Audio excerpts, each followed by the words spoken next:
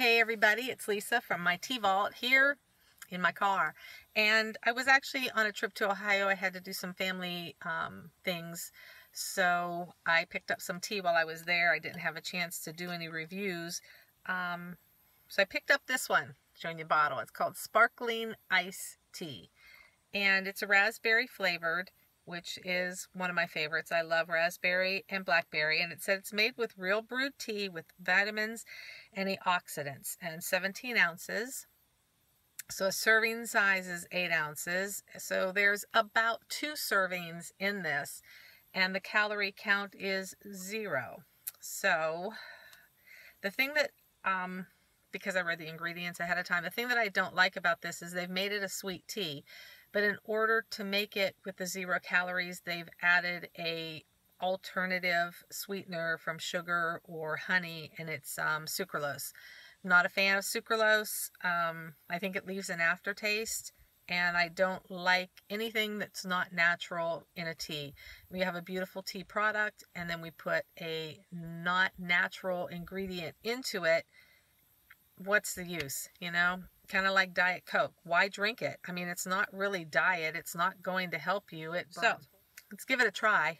I mean, I picked it up. Might as well, huh? Um,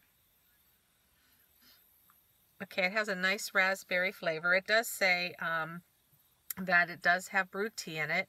Number one ingredient, then a raspberry juice concentrate, citric acid, natural flavors, caramel color, potassium benzoate, which is to basically enhance, um, the sucralose, malic acid, caffeine, so they had to add caffeine to it, calcium, disodium, EDTA, you know, I probably should just throw this one right out the window, um, a couple red dyes, um, then added vitamin B12, D3, and B6.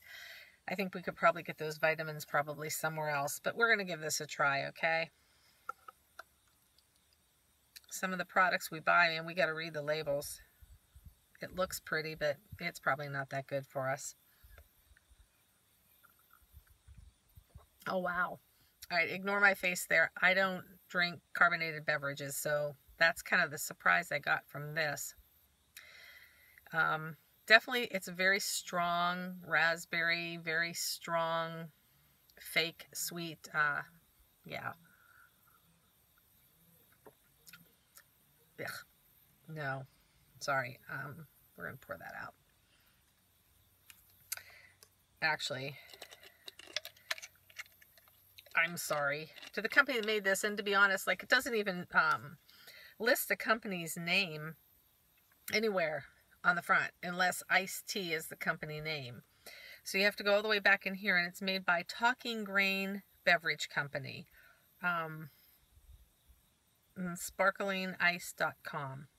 Uh, ca caffeine count is 21 milligrams per the whole thing. Honestly, going out the window. I'm not going to drink that. I hope you don't drink it either. If you're looking for something good to drink, drink water. That just, don't drink it. All right. See you next time. Sorry. Bye.